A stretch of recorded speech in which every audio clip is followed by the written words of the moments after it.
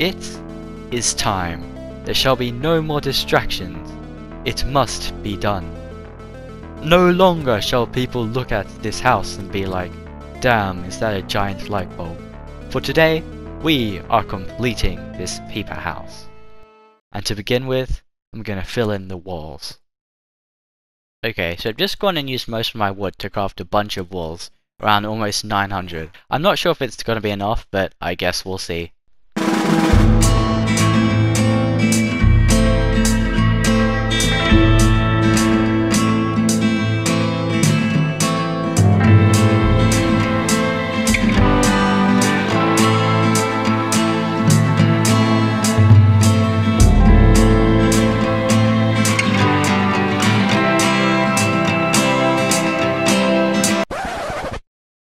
Okay, so I know I just said that there would be no more distractions that, that would stop me from completing this peeper house.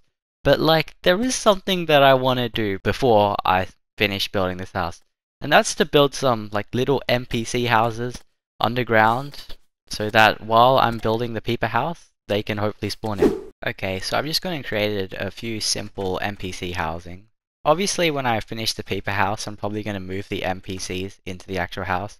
But for now, I'll just I'll just let them move into here while I'm building the house so that they can come in while they can spawn in while I'm building the house and I don't have to wait for them to spawn in later.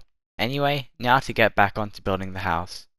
Now, I probably don't have enough wood to craft enough walls to finish filling in the walls of the, the eye of the peeper, so I'm probably going to have to cut some more trees down but it's nighttime and I don't really want to be going and cutting down trees during the night as it's quite dark and there are a lot of zombies and demon eyes outside so I'm probably going to end up dying so probably going to wait until morning now go cut down some trees and then hopefully finish the peeper eye.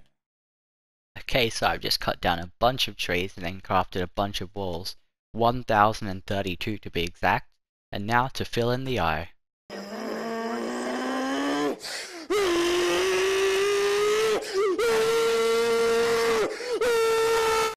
Okay, so it seems like I may have gone a bit overboard with crafting walls, but I've basically filled in all of the uh, eye of the peeper now, and basically filled in most of the most of the walls for the peeper house.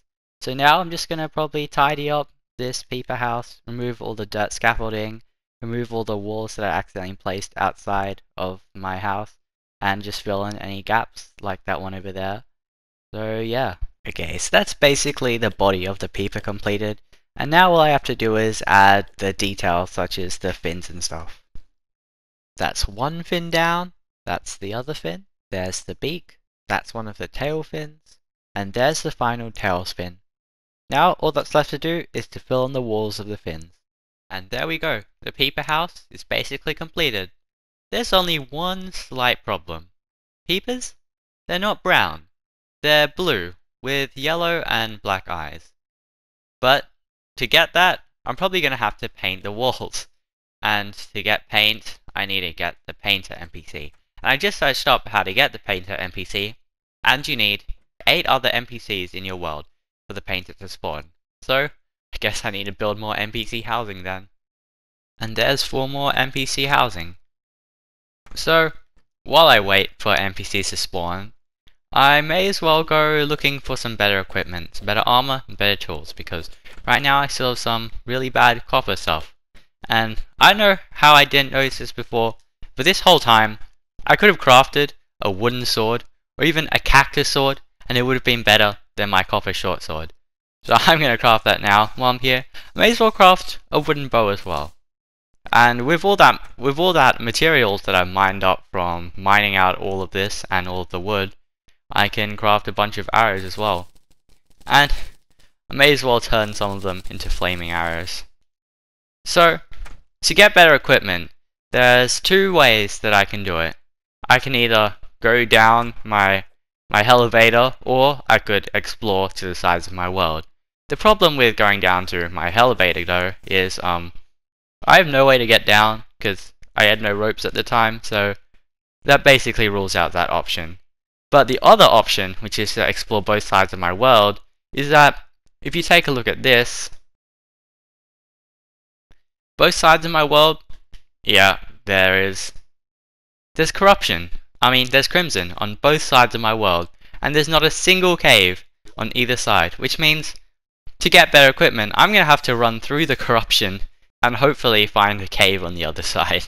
But, of course, it's nighttime right now, and I don't really want to be exploring at nighttime, as I've said many times before.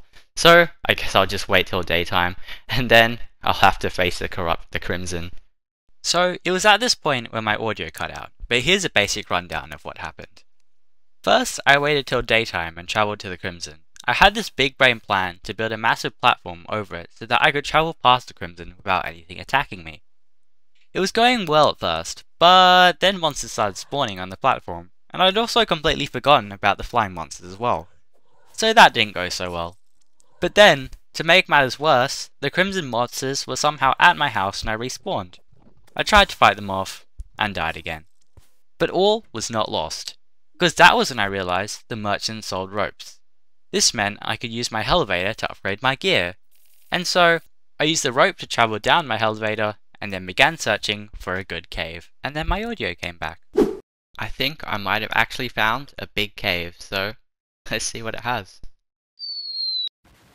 Didn't mean to do that, but actually I'm gonna harvest this because this could actually have some good stuff. Gems, and if I can get enough gems, I might be able to craft a, a grappling hook, and that'll be good. Oh yeah, I wanna, I definitely wanna pick up the gem coin, but I need to get rid of something. Oh yeah, no, I, I purchased a um a piggyback a piggy bank from the merchant so I could have some room to store stuff. Oh no, please. No, don't die here. I, I need I don't want to lose my piggy bank. never in doubt. Alright. As you can see, I've already put some money in there. Anyway, I can put all this junk that I have in here. So, I got a life crystal. That's good, because I need health. Should probably remember to use that though. Pick. Oh no. Anyway, I'm gonna pick up this piggy bank before I forget. Then kill this red slime. And then... Okay, and then I'm gonna actually use my life crystal. There you go. Now I have 120 health. Okay, so I think I may have just found a mushroom biome. So there's a bit of emerald here, I think. I should probably grab that. That'd be good. Anyway, mushroom biomes, I'm pretty sure they have some good loot, so Definitely gonna go check it out hope that it has good loot. There is a lot of, seems to be a lot of mobs here though, so have to be careful. I think I may have found my first chest. Oh, with water walking boots. This is good. Oh, I need to get rid of something. Oh no, I'm about to drown. This is not good. Quick, run, run. No, no, please. Also getting chased by jellyfish. No, no. I gotta get, I gotta breathe. Okay. Only half my health. Well, that's unfortunate. I think I might end the video there. As you can see during that mining trip, a few NPCs have moved in, so that's good. It's good progress. Anyway, bye.